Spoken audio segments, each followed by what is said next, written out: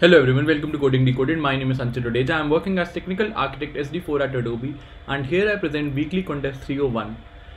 This time I'll be solving the question smallest number in finite set and in case you're interested in more problems of the weekly contest, all the solutions are mentioned in the description below so do check them out.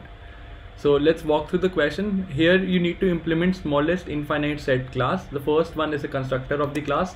The other one are two methods pop smallest which removes and returns the smallest integer contained in that finite set.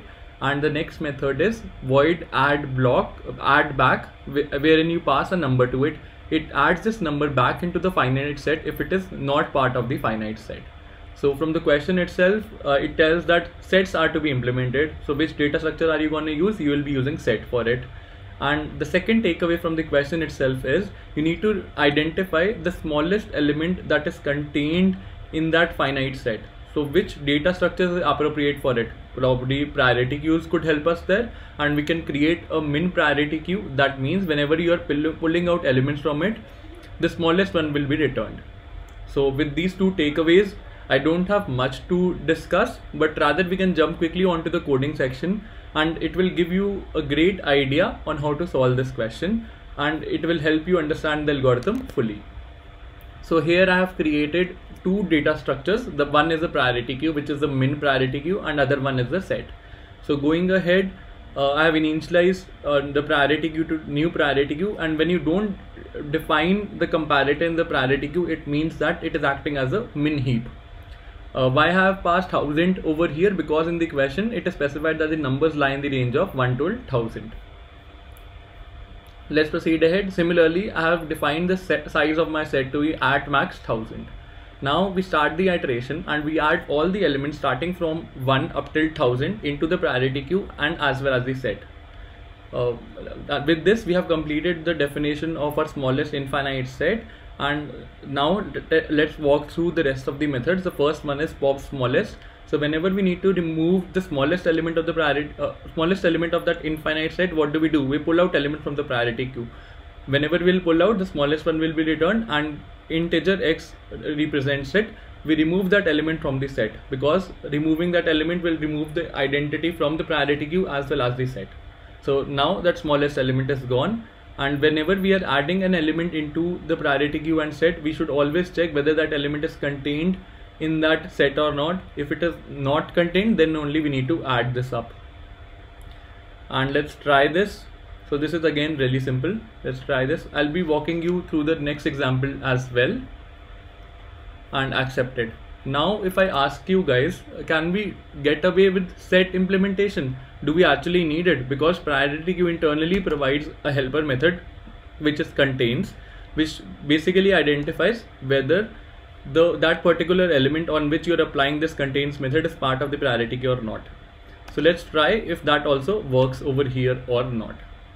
So here I'm just replacing a set dot contains to pq dot contains and let me just try and submit this up. Accepted again. So it can be solved using a single data structure but the time complexity would worsen over here. Therefore we have used set in order to improve the time complexity because pq dot contains takes the time complexity of order of n where n represents the number of elements that are passed out part of the priority queue wherein when we operate over set dot contains that can be easily identified in time complexity of order of 1 that is the reason we have treated uh, or kept set over here.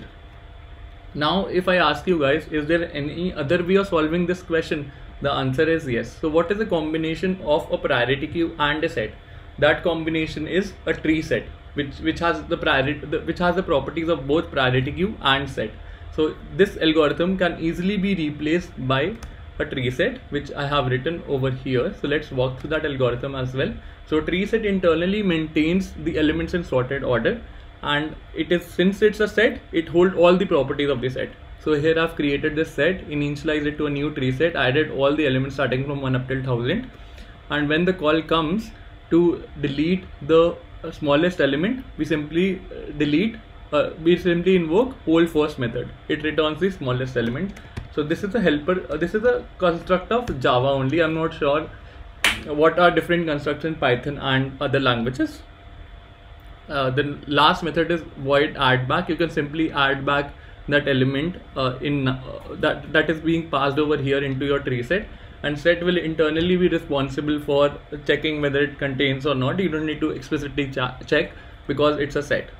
So let's submit this up again. Again accepted. So the time complexity of this constructor method is order of 1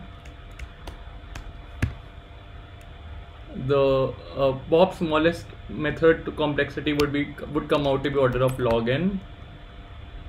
And add back method would be again be equal to log n wherein signifies number of elements that are part of our set. With this let's wrap up today's session. I hope you enjoyed it. If you did then please don't forget to like share and subscribe to the channel. Thanks for viewing it. Have a great day ahead and stay tuned for more updates from coding decoded. I'll see you tomorrow with another fresh question